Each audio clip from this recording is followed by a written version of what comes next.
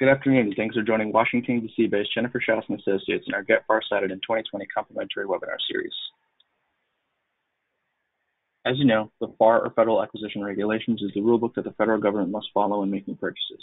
Our webinar series pulls from contracting experts to explain each part of the FAR. It is complimentary and recorded. We'll post all the recordings on our website and YouTube channel, where we have over 300 government contracting webinars available for download. A special thanks to our webinar partner in this series, the National Veteran Small Business Coalition Education Foundation. Please, please visit their website to learn more about the organization. We'd also, like to thank our friends at Open the FAR for their sponsorship. If your organization is interested in sponsoring the series or one part, please contact hello at jenniferschaus.com. And now a little bit about us. We work with primarily large businesses to help them navigate the federal marketplace. We work with both product and service companies as well as software firms. Our clients span the globe and include publicly traded organizations in a variety of sectors. We provide market analysis reports, contract administration, contract vehicle assistance, and more. All of our services can also be built into a training course for your team. Learn more about us on our website. And now we'd like to let you know about some ways to reach the government and government contractors through us. We offer advertising and sponsorship opportunities through our weekly newsletter and also in our webinar series. For pricing or to place an order, please email us at hello at jenniferschaus.com. Now let's move on to learn a bit about today's speaker, Mary Beth Bosco. You can find her information on the screen here. And today we're covering FAR Part 33 with Mary Beth. Okay. Thank you so much Hi, for joining everybody. us today. The floor is now yours. Okay, thanks. I wasn't quite sure with the delay. Hi, everyone. Um, I, um, I hope everybody is uh, healthy and safe, and thanks for listening in. Um, can you please advance the slides? Um, FAR Part 33 is basically the litigation section of the Federal Acquisition Regulation. It covers claims against the government, government claims against the contractor, and protests. And I'm going to let you in on a government contract and where secret. Um, it is it is one system for filing claims for litigation against the government. And what I mean by that is there's basically the FAR, that, that's your rules. And then it's um, federal law. There's sort of a, a body of law that's federal contract law. So we don't have to worry about um, you know, what state we're in or what state law. We have we go back to the FAR and then to the procedures of the various um, uh, tribunals that hear these claims. So we're going to cover claims today and appeals. You know, why do you file a claim? What is in it? What's the process? And so what are some of the common issues that arise when you're litigating a claim against the government? And then we'll switch to bid protests. Uh, again, we'll do an overdue overview. Uh, how do you file a protest? What the basics, you know, where you can go, and what are some of the common uh, interests. Uh, next slide, please. So a claim is uh, basically any dispute you have with the government that arises under or is related to a contract. So if it touches your contract with the federal government, this is the process you need to, to follow. So typically you're looking at disputes over some aspect of performance um, of the contract, things like um, scheduling delays, um, inability to agree on a termination for convenience settlement, uh, withholding of costs by the government. Um, and then sort of the big one we'll talk about a little bit later is um, constructive changes. And the constructive change is when you believe that the government has changed the work under the contract, but has not issued a change order. So in that case, um, you're supposed to give the government notice that you consider it a change, um, but that rule is basically observed more in the breach. Next slide, please. So a claim um, basically uh, has to have specific things in it or it'll get kicked back. Uh, the Contract Disputes Act is the statute that governs um, litigation against the government, um, and then it's carried out through the FAR. So, in order to file a valid claim, you have to it has to be in writing. It has to be for a sum certain. It has to um, describe the facts and arguments underlying the claim. And it has to request a contracting officer's final decision. Some people will file what's called a request for equitable adjustment first. And that's sort of a kick kickoff event um, that you know you, you file it, you, you hope that the you know the government can negotiate a settlement. If that doesn't work, you ratchet up and go on to filing a claim. Uh, next slide. The really the hardest thing, or the thing that is most controversial about claims, is the certification requirement.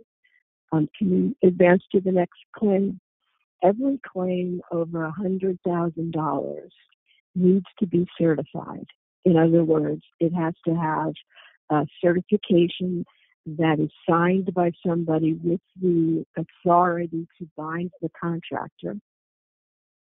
And it says that um, it, you know, that the amount that you're claiming, that you're due for that claim, that you're due, you are truly due that amount, that the claim is uh, accurate and complete and current, and that you've got the authority to sign that certification. Can we go to the next slide? And for some reason, it's not advancing for me. Um, so one of the things about certifications um, are, even though what's in them is pretty, um, you know, set forth in the FAR, um, very often contractors will uh, not follow this exact language. Like they try and, you know, mess around with it. Well, don't ever do that because if it's not proper certification, the government will kick the claim back to you and make you resubmit it. And the reason that's something that you don't want to have happen, in addition to delay, is that interest on your claim begins to accrue on the date of submission of a certified claim. So uh, the sooner you get the claim in, the sooner you start the interest clock should you prevail. Now, you know, back in the day when interest rates were, you know, relatively high or much higher than they are today. That was a huge consideration, but uh, unfortunately for all of us, the interest rates are so low. Um, you know, this may not uh, turn out to be a huge amount at the end of the day. Um, next slide, please. So once you submit your claim, what's the process? What happens next? The um, contracting officer receives the claim and has a certain amount of time to um, respond to the claim. Can we advance the slides? Basically, the contracting officer has 60 days after you submit your claim to make its decision. Now, I think in the history of the world, very rarely does the contracting officer hit that 60 day limit. So um, they give themselves extensions. They're supposed to send you the letter saying, you know, very complicated. I'm going to need more time, and I'm giving myself another 60 days. And unfortunately, there's really nothing you can do about that. Now, if the um, amount of time gets to be unreasonable, um, you can consider your claim to be deemed denied, and therefore you can go ahead and appeal the contracting officer's decision. Next slide. Like the claim itself, the contracting officer's final decision has to have certain things in it. It has to, you know, state the basis for um, why the claim is granted or denied. And it also has to advise you of your appeal rights. Can we go to the next claim? I mean, the next slide.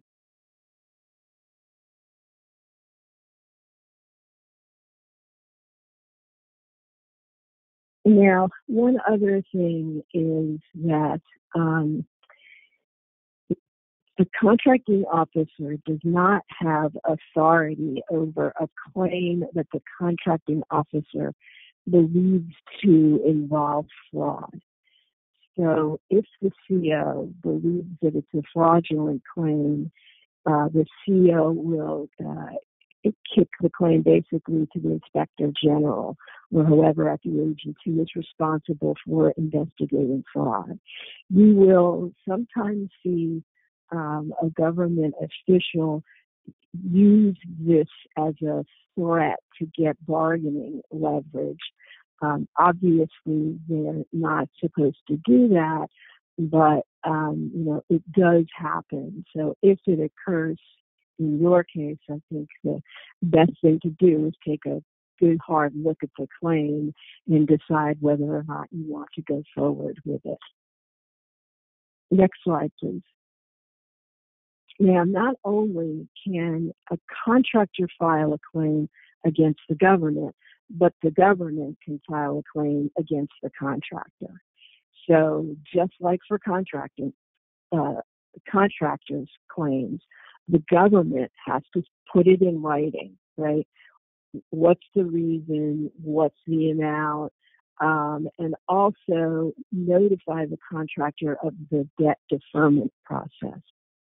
Think yourself, uh, the subject of a government claim, um, there uh, are avenues of relief. You can elect to defer payment of the claim um, you know, which which is in some cases um, a really important capability.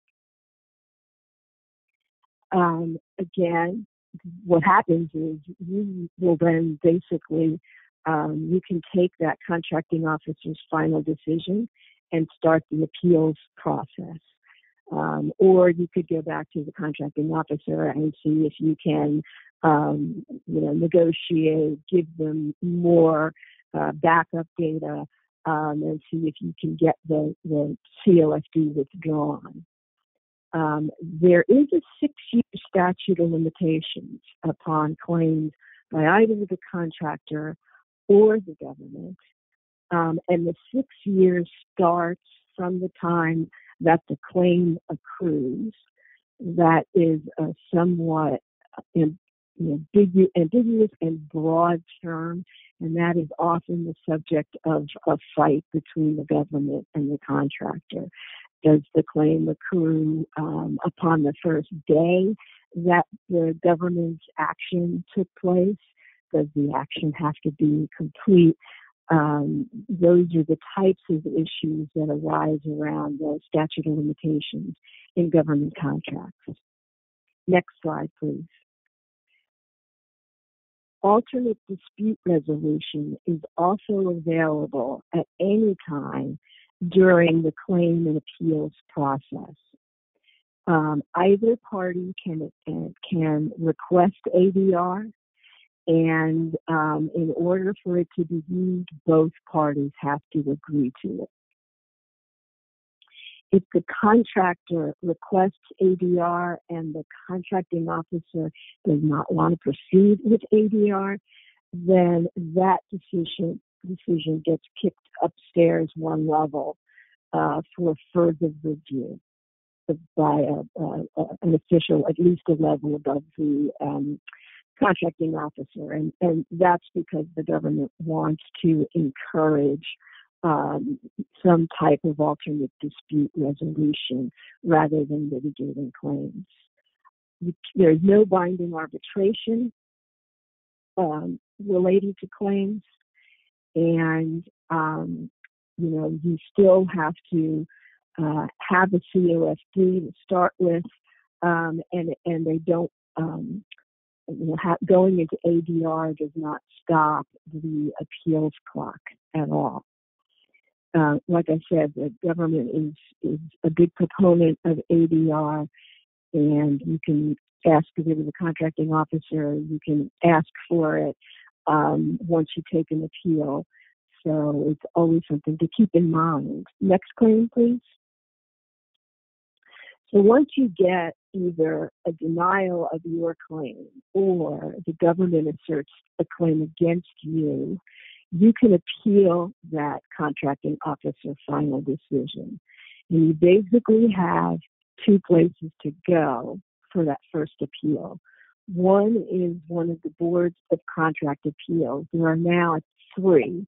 The Armed Services, the Civilian Board that covers, you know, the civilian agencies, transportation, agriculture, GSA, etc., and the Postal Service. There used to every agency basically used to have their own board of contract appeals, but several years ago um, they made the decision to consolidate them.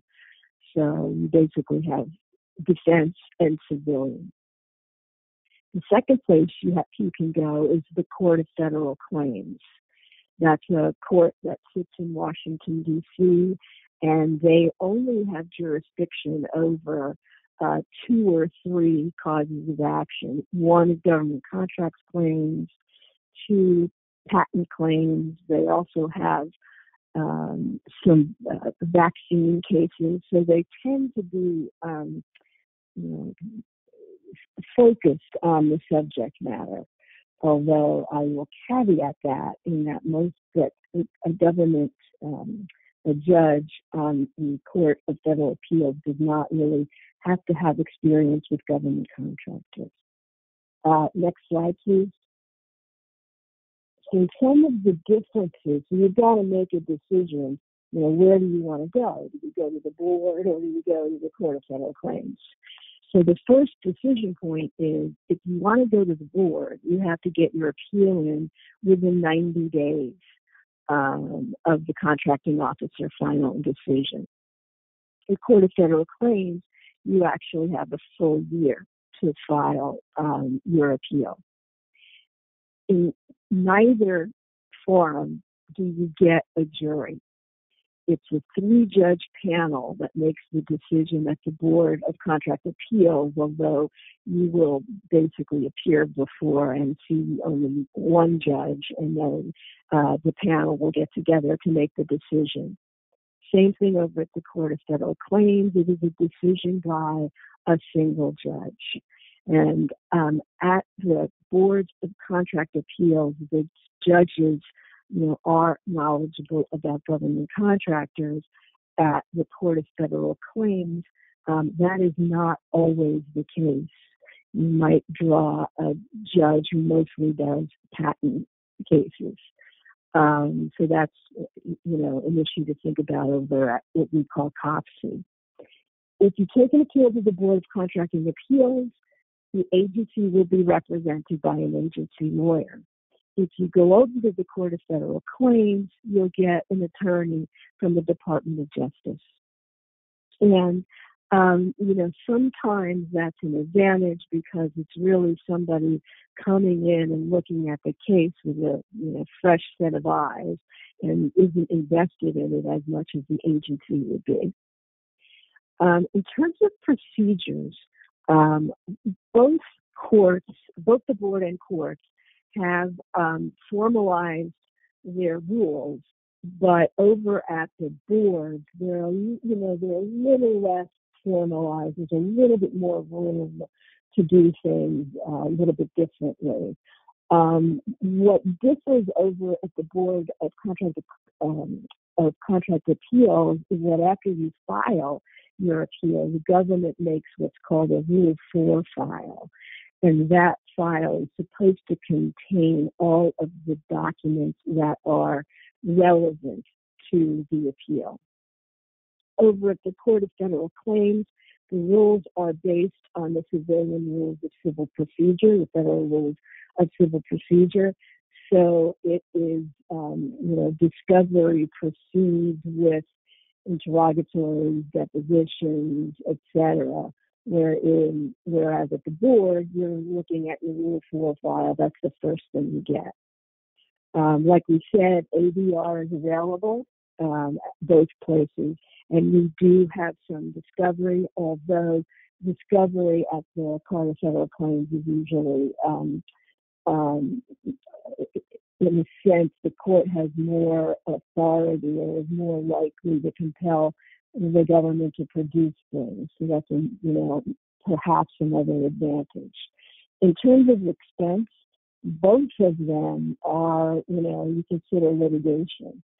So, um, you know, I don't personally think there's a whole lot of, of difference between the expense of the board appeal versus the COFC appeal. Some people tend to think COFC is more expensive. In terms of timing, I think the boards um, are probably faster to get to a decision um, than the Court of Federal Claims. Next slide, please. If you um, want to appeal your uh, decision, if you get an, uh, an, adverse decision out of board um, or at the Court of Federal Claims, you go to the same place. You go to the Court of Appeals for the Federal Circuit. And that's an appellate court that uh, sits in Washington, D.C. And um, again, it, its procedures are the, basically the same as the federal rules of appellate procedure.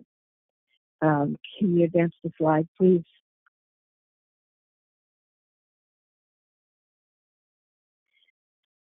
Now that we've got the process down, I thought we'd just take a minute to talk about some of the um, you know pitfalls or the issues that commonly come up.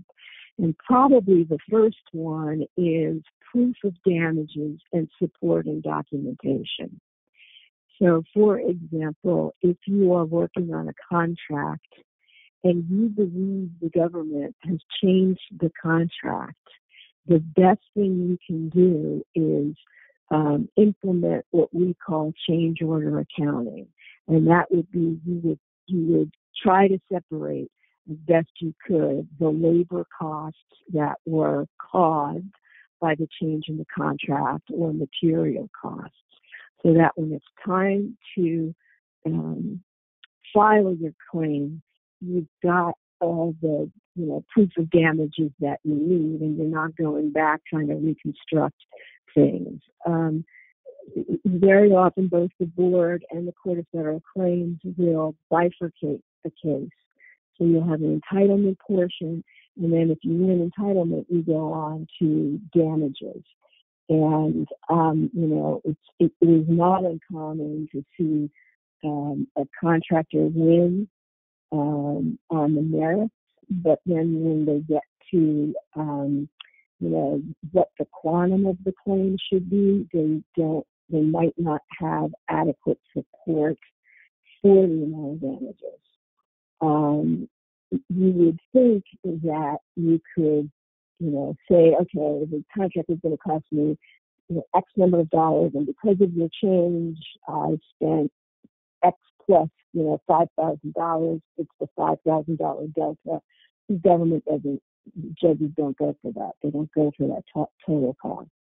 And then another, just another issue briefly, is authority of the government. Probably a lot of you have um, seen this happen where you're you know performing your contract and you know somebody from the project office says hey could you do this for me um i'll take care of it you know it'll be fine you'll be fine you'll get you know you'll get paid well a person from the project office has no authority to to bind the government so unless it comes from the contracting officer you will find yourself um, defending your own claim, uh, trying to argue that the person who told you to do, um, what, you know, what you consider the change to be didn't have the authority to do it, and it's just null and void.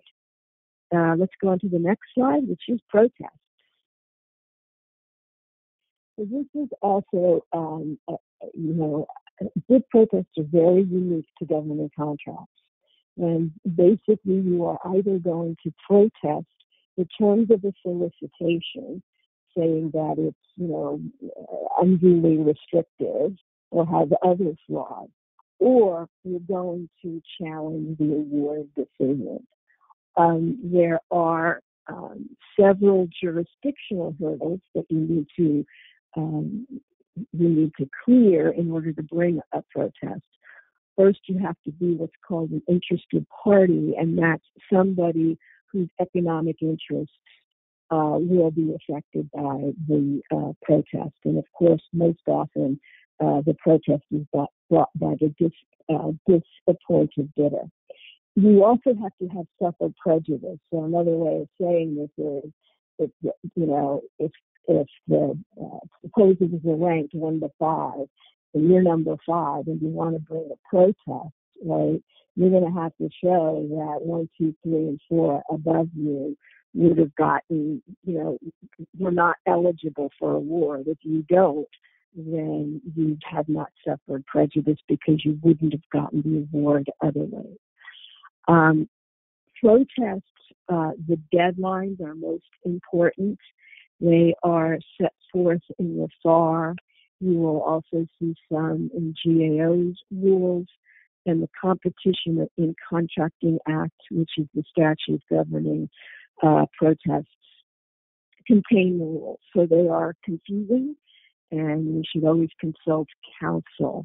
The basic rule that you should always keep in mind is that if you file a protest at either GAO or the agency, within um, either 10 days of award or um, five days after required debriefing, the government has to stop award or stop performance from moving forward unless the government makes a determination that there's an urgent and compelling need to go forward. Um, it, you know, that's what's called the CICA stay. Uh, it's uh, it's a cheap injunction, so it's a um, it's a very important tool in good protest, but you could um, miss it if you miss the deadlines. Next slide. So you, now you want to decide should you file the protest or not? Do you have grounds? And um, in most cases, um, in what we call FAR Part 15 procurements, right? Your typical negotiated um, or competitive bid contract. The agency has to give you a debriefing. You've got to ask for the debriefing within three days of notify, being notified you didn't get the award.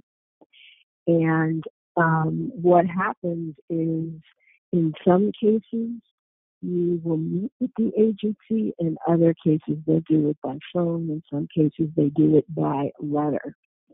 And um, there are certain things that the agency has to tell you in a debriefing, and there are certain things that they can't tell you.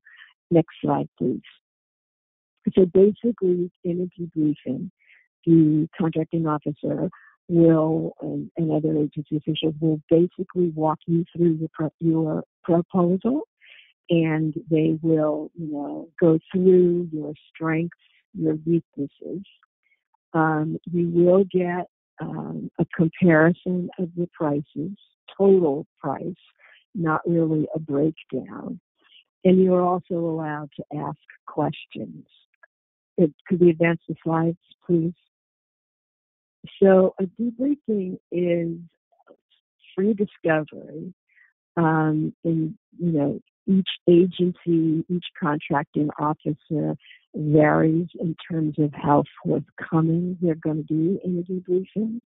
Um, sometimes you go to the debriefing and the agency is very convincing and you, walk out of it and say, we thought we had grounds going in, we don't have grounds now. In other cases, the information you learn in the debriefing will form the basis for your uh, protest. Uh, next slide, please. One question we get a lot is, um, do you recommend bringing a lawyer and outside counsel into a debriefing? And Uh, my answer is almost always no, because once you bring a lawyer, they get their lawyer, and it gets elevated, and you're not going to find any good information in the debriefing. They're just not going to, you know, they're just not going to be as open as perhaps they would be if it were just, you know, business people from the company. So we could begin the next slide. There are three places. If you decide from the debriefing, you know what, we do have grounds to go, um, where do you go to file a protest? So there are three options. One is to the agency, one is to the General Accountability Office or GAO, and the third is to the Court of Federal Claims, COFC. Can we advance the slide? Um, there are advantages and disadvantages uh, to all three of these forms. Um, the agency protest is the simplest. An agency protest really starts out with a letter or a brief to your contracting officer saying that, you know, you disagree with the award decision, setting forth, you know, the issues that you see. It's completely a paper uh, procedure. The contracting officer has 35 days to respond to, um, you know, a protest, um, but there's really, it's really it's a loose number. It's not, you know, sort of aspirational. You don't really get to ask the agency any questions. It's basically you submit your reason for protesting, and they submit back their reason for either granting or denying the protest. Um, could we advance the slides? This so the um, other um, sort of you know factors you weigh in you know where you're going to go is that if you file an agency level protest uh, in the amount of time within those deadlines we just talked about, you will get that automatic stay. Um, it's not going to be an independent decision maker because the decision on your protest will, um, you know, going to be made either by the contracting officer or somebody uh, level above him.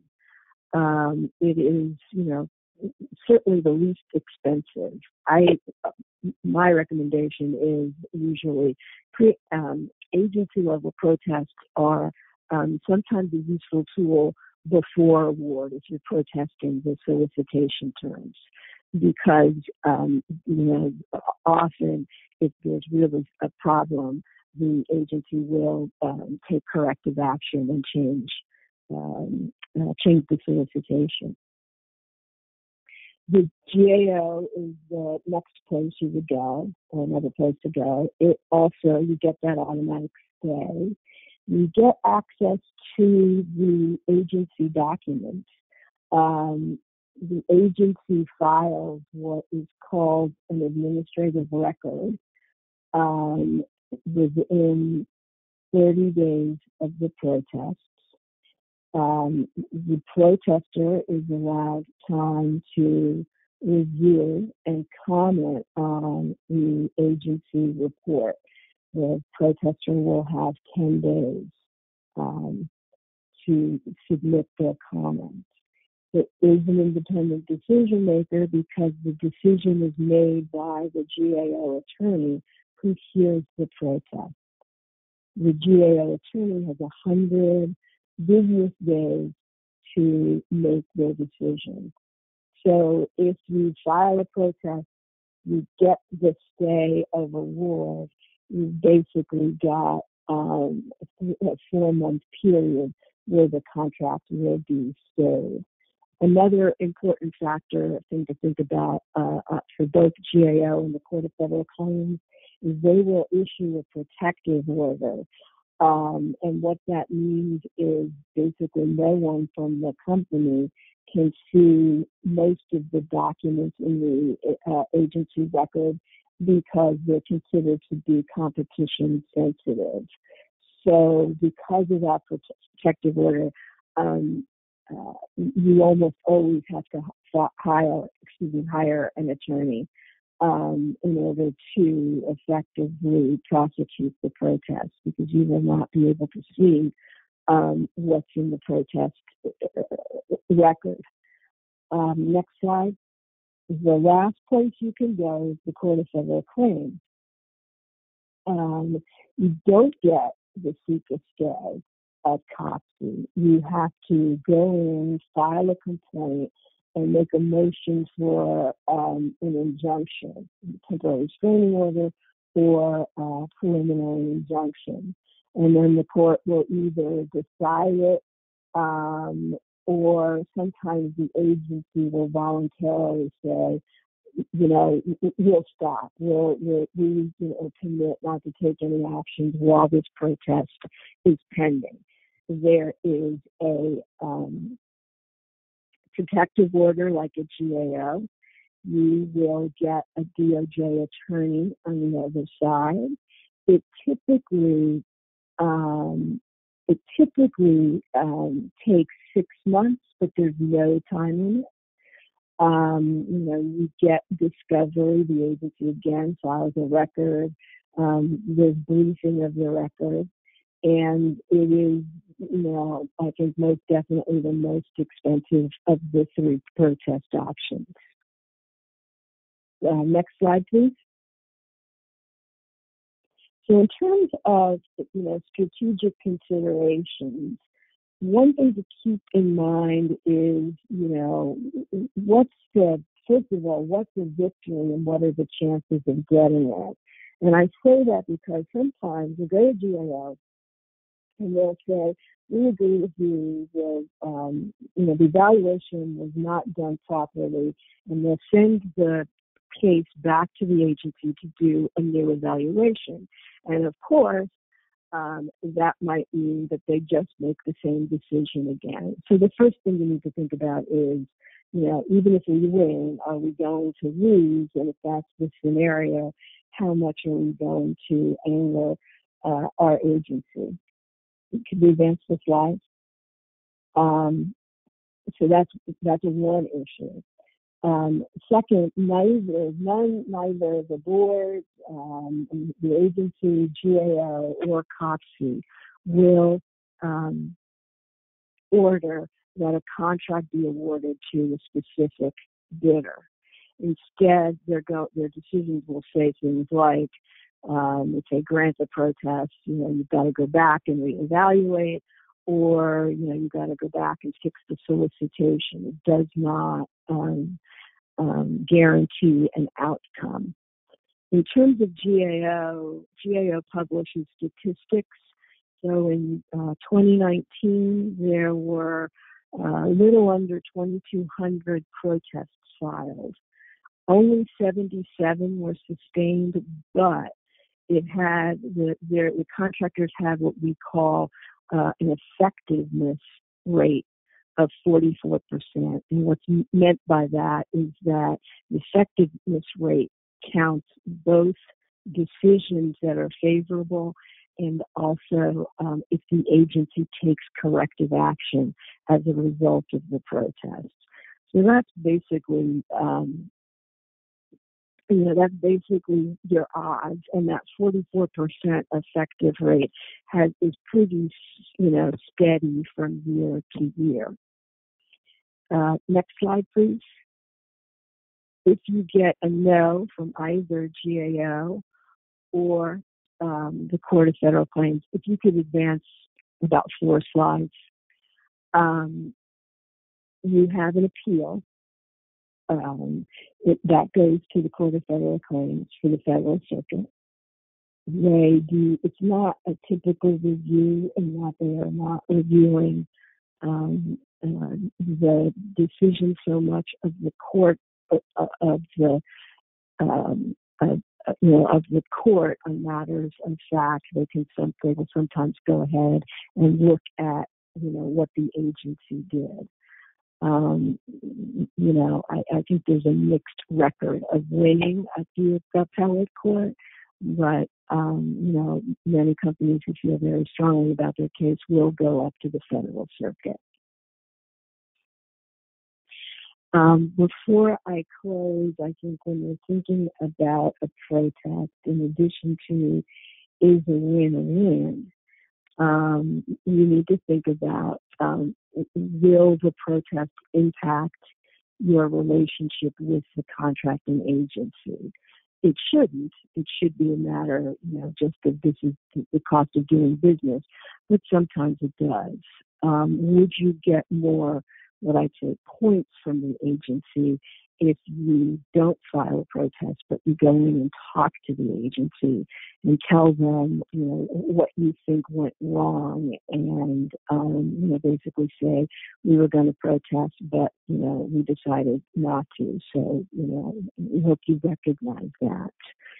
Um, it is also getting more uh, increasingly expensive because at GAO, know, most cases agency would file the report, you'd file comments, that would be pretty much it. But we've noticed a trend recently that the GAO attorney will come in after you file your comments and, and have a round of questions. So you wind up um, having to submit, um, you know, certainly more briefs than you thought you were going to.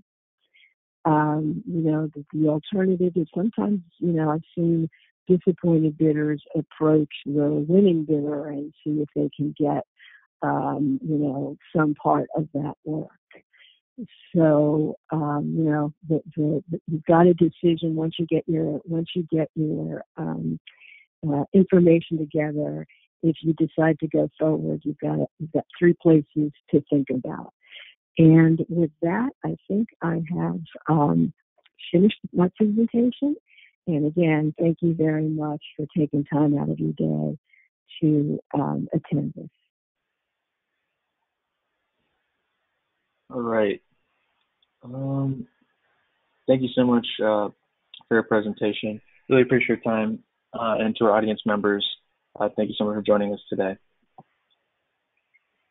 And if you have any questions about federal contracting or need assistance with any of our services, please contact us directly. Thank you again for joining us. This concludes today's webinar.